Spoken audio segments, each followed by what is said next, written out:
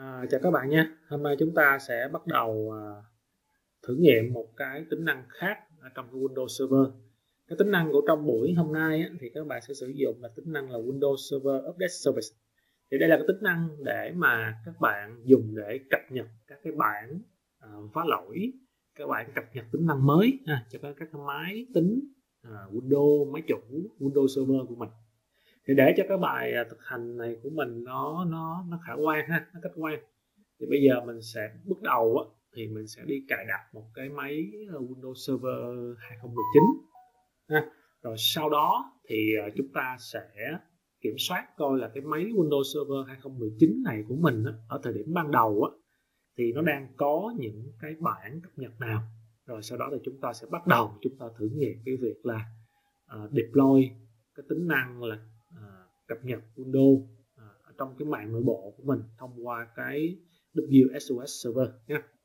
Ở trên màn hình thì các bạn thấy là mình đang có tạo ra một cái máy ảo Windows Server 2019 nha. Bây giờ là cái máy này là máy trắng thôi. Nó cũng chưa có gọi là bất kỳ cái thông tin gì cả. Thì à, lúc này á thì à, mình sẽ cài vào à, cho nó là cái cái à, uh, hệ điều hành Windows Server nhé.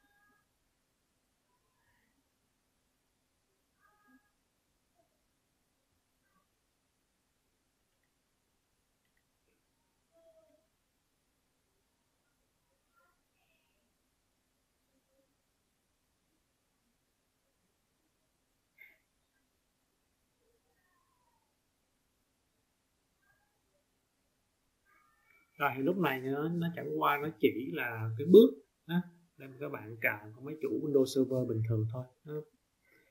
các bạn thấy cái bản mình đang cài ở đây là cái ngày nó ngày à, tháng 9 ngày 7 năm 2019 đó. tức nghĩa là so với cái thời điểm hiện tại đó, là nó đang thiếu à, sẽ khá nhiều các bản cập nhật đó.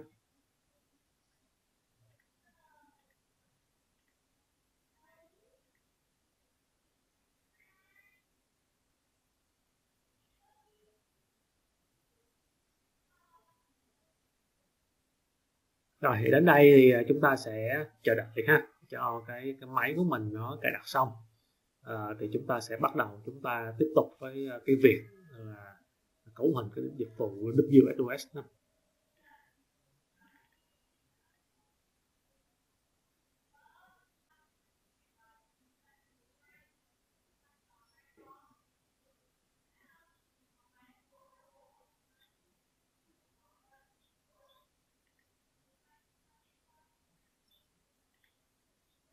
ừ, tiếp tục thì mình sẽ dán cho cái máy tính này ha. Một cái, uh, cái địa chỉ IP tỉnh nha.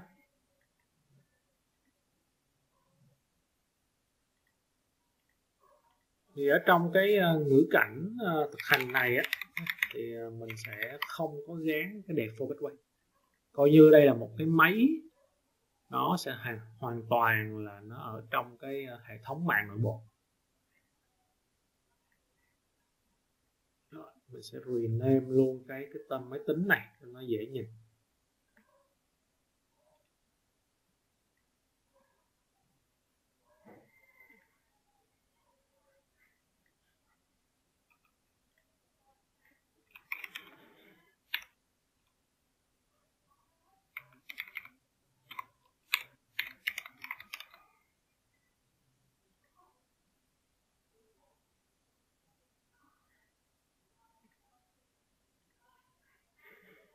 Rồi, đến đây mình sẽ à, tắt cái máy một lần ha. Rồi, sau đó mình sẽ à, tắt snapshot cái máy này. Coi như là mình có cái bảng để mình thử nghiệm cái gì đó.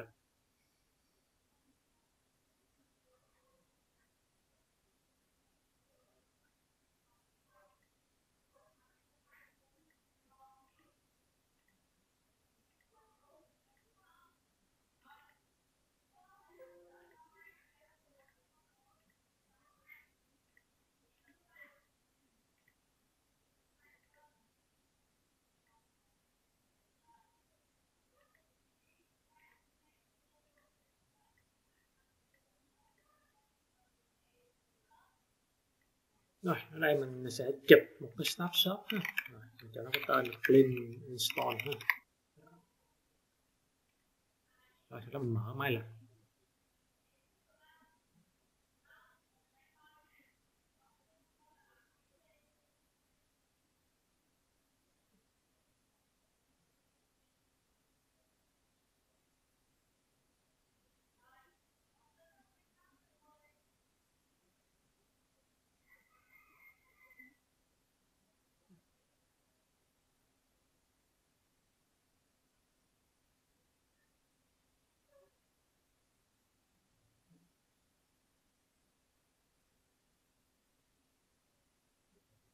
rồi mình đăng nhập vào bên trong máy ha.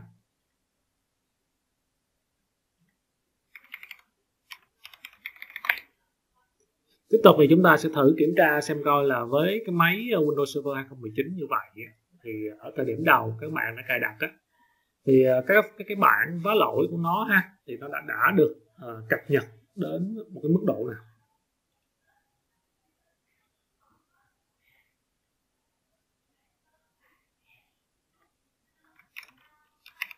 Rồi mình đi vào bên trong ờ, cái ờ, cái giao diện dòng lệnh của máy.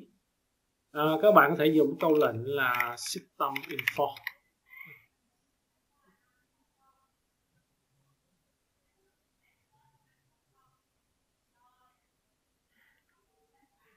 Thì ở đây các bạn thấy là cái máy này nó có cài được 2 KB 3 KB 4514 4536 nè 45578 là các bạn khóa lộn đó nè à, một cách khác là các bạn nhìn. À, các bạn đi vào bên trong cái phần à, add remove RAM.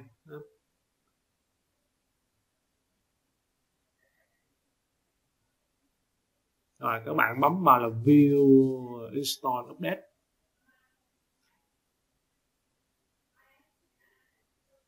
Thì các bạn cũng sẽ thấy những cái bản à, cập nhật tương ứng à, với cái cái máy của mình. Và các bạn để ý là cái cái thời gian mà mà cái bảng này nó cài đặt đó, nó sẽ là à, tháng 9 ngày 6 à. Ứng với thời gian của cái, cái, cái đĩa mình cài đặt vào. Rồi đây là một số thông số lúc đầu mà chúng ta khảo sát. À, tiếp tục thì ờ, chúng ta sẽ chuyển qua bên cái ờ, WS server.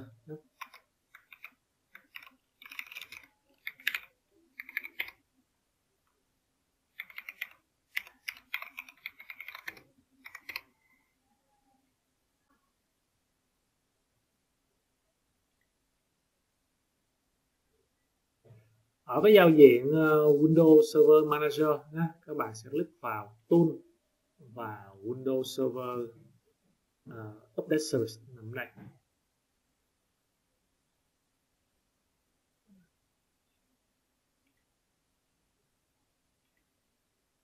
Rồi các bạn mở cửa sổ này lên. Các bạn có thể click vào cái biểu tượng là Server Lab này thì đối với cái à, cái máy của mình á, thì các bạn sẽ có thể chọn là à, mình sẽ phải sẽ cập nhật đối với những cái phiên bản nào đúng không ạ? Dạ, tại vị trí này các bạn click vào view cái uh, product này and classification này. À, ví dụ như chỗ này thì à, mình chỉ uh, quan tâm đến một số cái.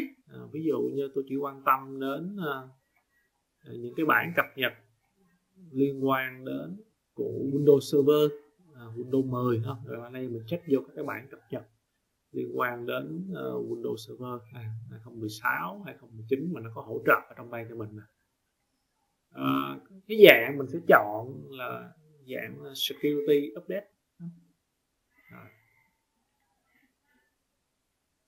thì các bạn nhớ là list vào cái chữ synchronize now ha. mà bởi vì cái quá trình này đôi khi nó sẽ hơi lâu một chút ha thì ở cái máy của mình á, thì mình đã list rồi. Nhé thì bây giờ mình sẽ qua cái việc làm mình sẽ tạo ra một cái group à, cái group à, gọi là à, Windows à, group cái, cái, cái máy tính mà sẽ được cập nhật.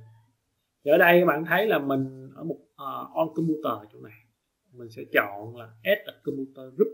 À, bây giờ mình đã update cho cái Windows Server 2019 thì chỗ này mình để là Windows gạch 2019 thì lúc này các bạn sẽ thấy là nó có tạo thêm cho mình à, một group đó.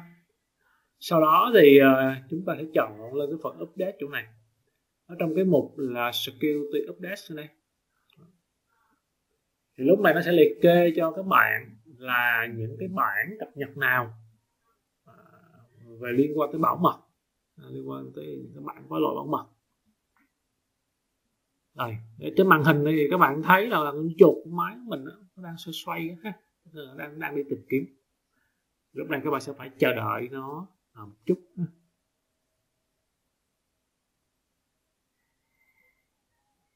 thì mình đang chọn nó ở cái trạng thái là những cái bản cập nhật là chưa được approve và cái status của nó là bất kỳ status nào.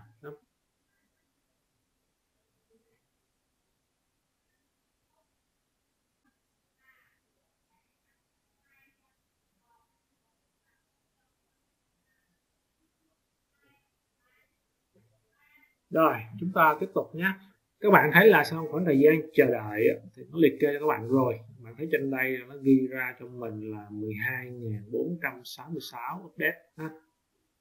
thì bây giờ bạn thấy trong đây nó rất là nhiều cái, và làm sao chúng ta chọn đây thì đây một cách cảm tính thì chúng ta sẽ đi search thôi, ha. thì chỗ này mình sẽ click vào search nè ở đây ví dụ như mình muốn chọn cái gói mà liên quan tới ờ, Windows uh, Server 2019 thì các bạn sẽ gõ vào đây là Windows Server 2019 đó.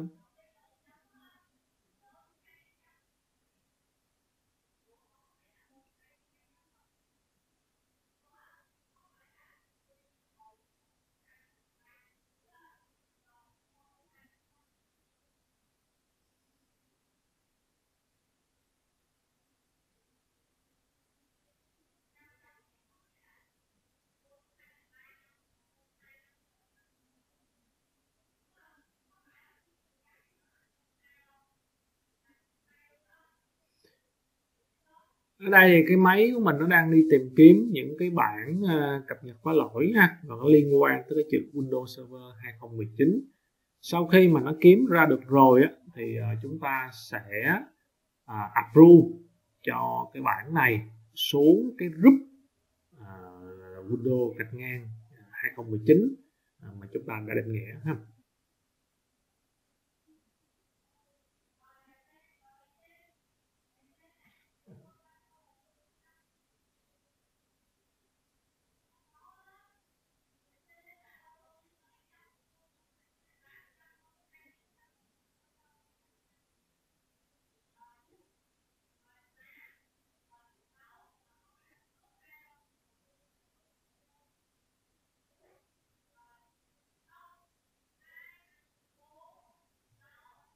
Rồi sau đó mình sẽ chọn dưới đây này nhé rồi mình kéo xuống hết. Đó, mình sẽ chụp phải đây mình run thì mình sẽ chọn xuống là à, cho tất cả các máy tính nè. Rồi và các bạn chọn cụ thể xuống là cho cái Windows Server à, 2019 của mình. Thì cái tên này rất là quan cái chữ mà Windows gạch ngang 2019 này rất là quan trọng ha nó sẽ là cái tên group các bạn gán cho các máy client của mình. Rồi ok ha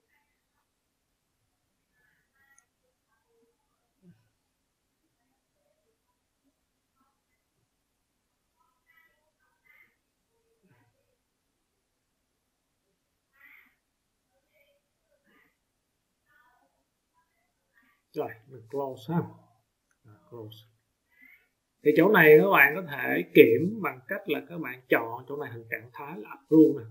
Rồi, các bạn, mình refresh kiếm. Thì nó sẽ xem cho các bạn là những cái gấu nào mà à, bạn đã cấu hình, chấp thuận à, vào trong máy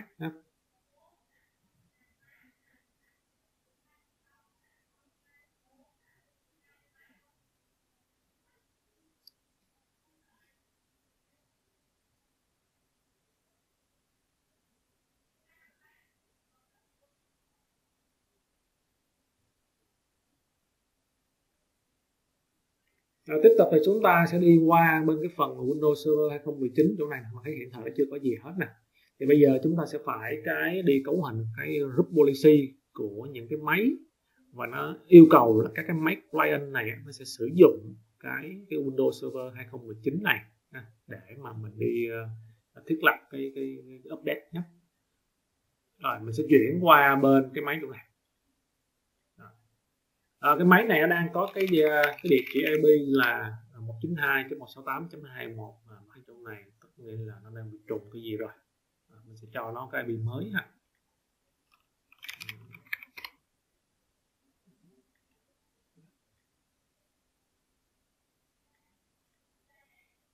đã là 121 này.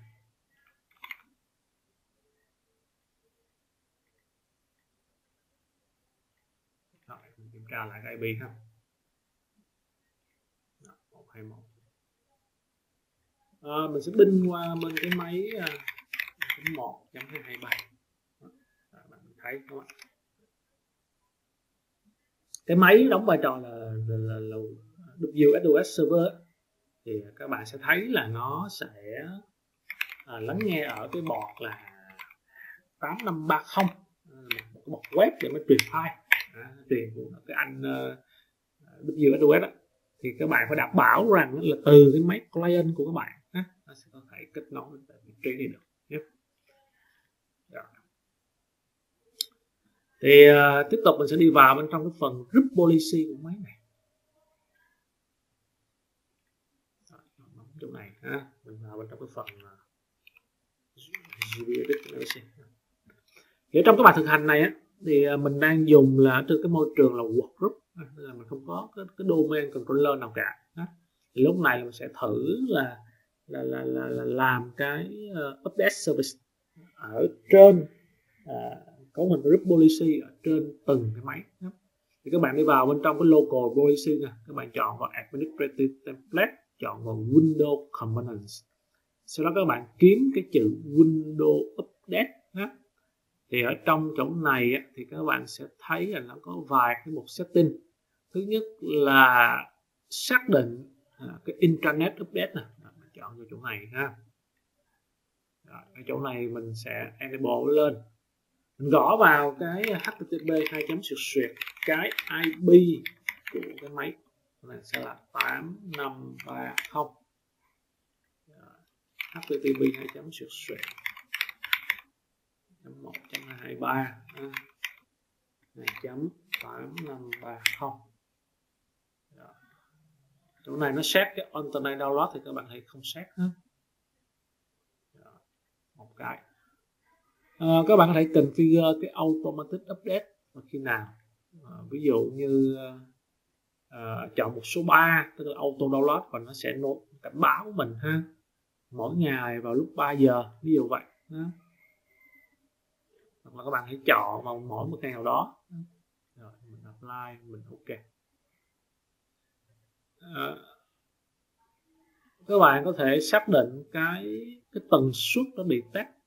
Ví dụ như mỗi một giờ nó đi tắt một lần. Một vài setting các bạn phải chọn. Rồi một cái mục rất là quan trọng là enable client side target này cái chỗ này á, là các bạn sẽ phải đánh nó đúng theo cái tên trong cái group này. Cái group này mình đang ghi là Windows gạch ngang 2019 thì lúc mình sẽ để xuống đây là Windows gạch ngang 2019 rồi mình sẽ apply mình ok. Đây là một vài cái setting. Các bạn có thể làm cái make client đó. Rồi sau đó thì uh, chúng ta sẽ uh, dùng câu lệnh rất là quen thuộc là cmd gb update support để nó cập nhật.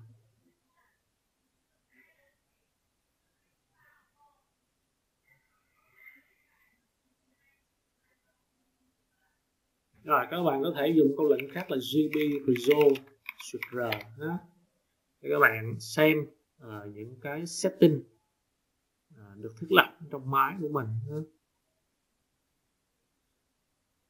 thì các bạn thấy là cái lần à, cập nhật cuối cùng vào lúc 3 giờ 55 ngày 31 tháng 12 2021 này. Chứng tỏ là mình mới cập nhật này rồi. Sau đó thì à, mình sẽ đi vào bên trong cái phần update của Google Windows này. Các bạn sẽ để ý ở cái mục là update and security. Rồi chỗ này các bạn sẽ thấy là nó sẽ hơi khác một chút. Các bạn thấy view này hơi khác một chút so với cái máy bình thường. Mình sẽ view cái configure update policy này. Đó, chỗ này các bạn thấy là một số những setting mình đã được apply nó thông qua cái group policy. Ha. Rồi, sau đó mình sẽ đi check update. Rồi đến đây thì mình sẽ phải uh, chờ đợi một chút ha. Chờ đợi một chút.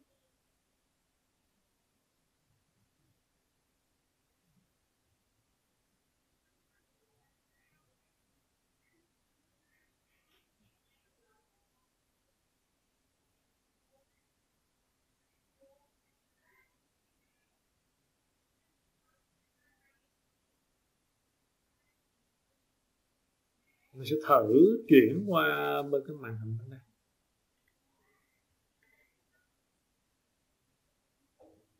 Thì ở trên màn hình bên đây các bạn sẽ thấy nó đang xuất hiện thêm một máy nữa với cái tên là SRP 2019 Lab ha. Dạ. Mà hiện thời cái nó đang ở cái vị trí nào? Đang ở vị trí là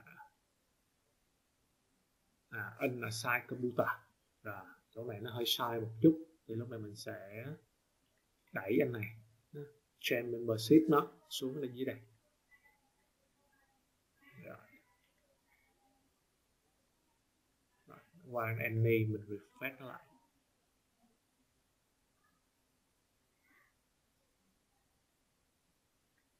rồi lúc này các bạn thấy là bên cái máy server của mình ha nó đã à, thấy được cái ờ, cái Windows Server uh, 2019 của mình và đang bắt đầu cái quá trình nó đi cập update đó thì các bạn thấy ở đây là bắt đầu nó đang đi download nè à, những cái bản uh, ờ, update từ cái uh, WSOS server đó.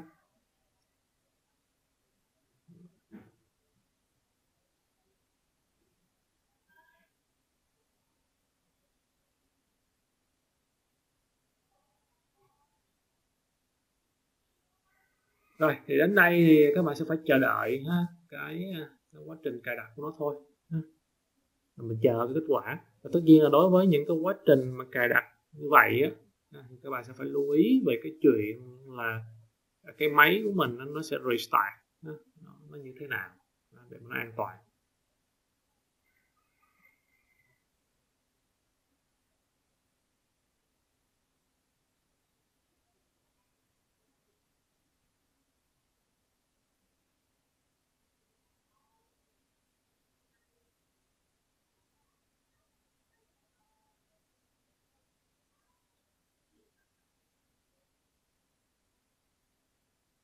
rồi đến đây các bạn thấy nó cài xong cái gói update về .NET Framework nè. Nó đang tiếp tục nó cài đặt cái gói update .NET Framework nữa nè